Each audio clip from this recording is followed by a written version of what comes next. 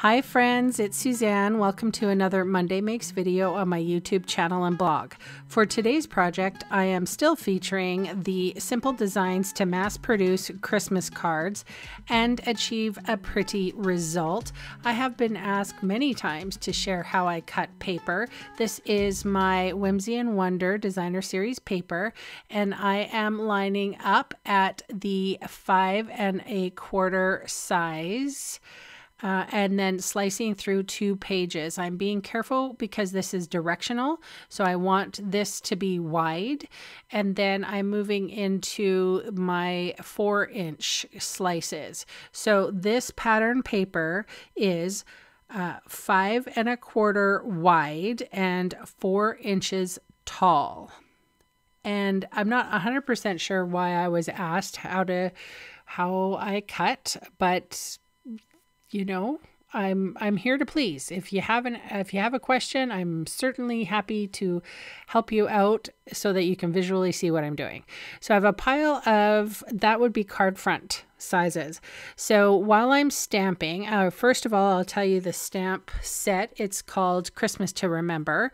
I am stamping with Misty Moonlight, and that little sentiment piece is two and a half inches wide and one and a half inches tall. And again, um, you will see so on the left you're going to see my misty moonlight card base. And then next to that above the ink pad there's another little piece of pattern paper. It's the back side of the pattern paper you can see.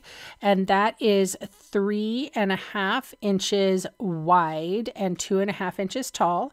And you can see now I'm adhering my sentiment pieces to that piece and then I'm matting one more time. So that uh, white piece of basic white card is 3 and 11 sixteenths by 2 and 11 sixteenths. And I had to measure because I just usually eyeball it at this point when I want to mat things. So I sort of just place the little piece of paper or whatever that I want to mat on top of something and then I just sort of cut it and then figure it out from there. So that's why that's an odd size. But you will see that I am going to adhere the uh, pattern paper piece with the sentiment piece attached. So that's this piece right here. And then I'm going to um, adhere it to the white mat. And that's not the only mat. There's going to be a misty moonlight mat and you can see that at the bottom right. And that misty moonlight mat is three and seven eighths wide and two and seven eighths inches tall and I am adhering the whole little piece. You'll see how well this works with this design. So I'm using the pattern paper. I'm trying to use all the pattern paper up and I'm just sort of matting it to make like uh, so that the sentiment pops so that the designer series paper is the focal point of the card. And also that um, this this becomes a wow card even though there's no die cutting no nothing. So here is my designer series paper. This again is whimsy and wonder and you can't get it anymore. Uh, it has been sold out. It was extremely popular paper and now um, yeah it's all sold out but i'm sure that you can use some of the papers that you have on hand if you needed to recreate this design.